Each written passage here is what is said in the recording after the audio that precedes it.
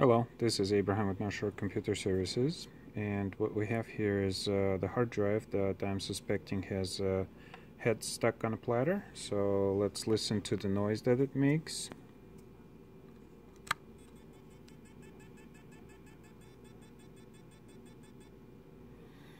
So it just beeps a little bit very quietly and nothing happens.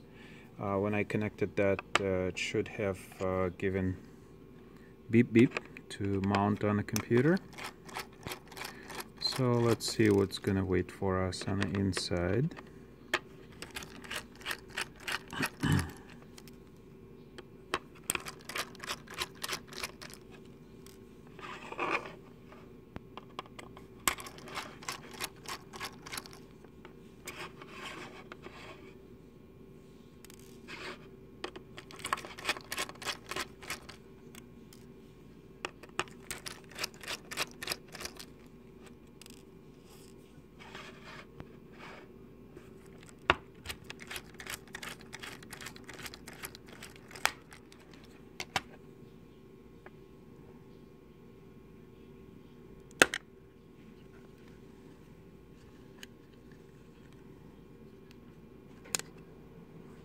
There you go. Just like I thought. Head is on a platter. Let's see if we can fix it.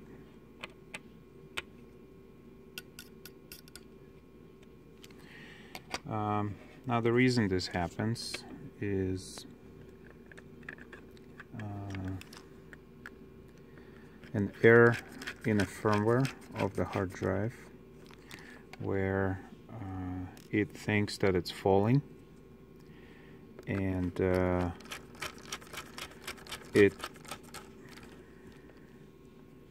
uh, I don't know if it starts parking the head and turn off the turns off the disk or maybe the error is in uh, um, the Greenstar Technologies where it tries to save uh, energy and uh, shuts off the disk puts it to sleep so one of those events, um, or maybe combined uh, sequence of those events, will cause the hard drive heads to uh, basically get stuck on the disk themselves, on the platter of the disk. I like that word platter.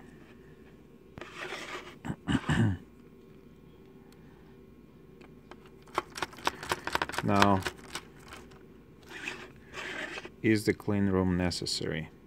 Yes. Do you need to torque the screws? Yes. That is if you want to use the hard drive. If you just want to get data off of the hard drive, then it's not critical. Alright, let's see what's going to happen.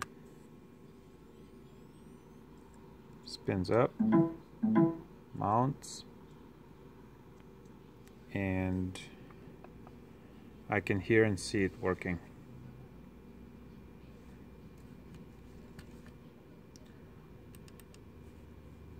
So here is uh, um, under five minute repair.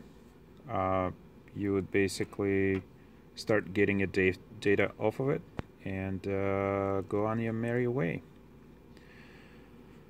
It seems to be a popular problem with uh, Samsung drives, but uh, this could happen to any hard drive at all. It should not happen to um, desktop drives. The motors in there are powerful enough to move the um, platters so that the head in the parking position is on the platter itself, so that wouldn't apply. Not to say it would never happen, it could.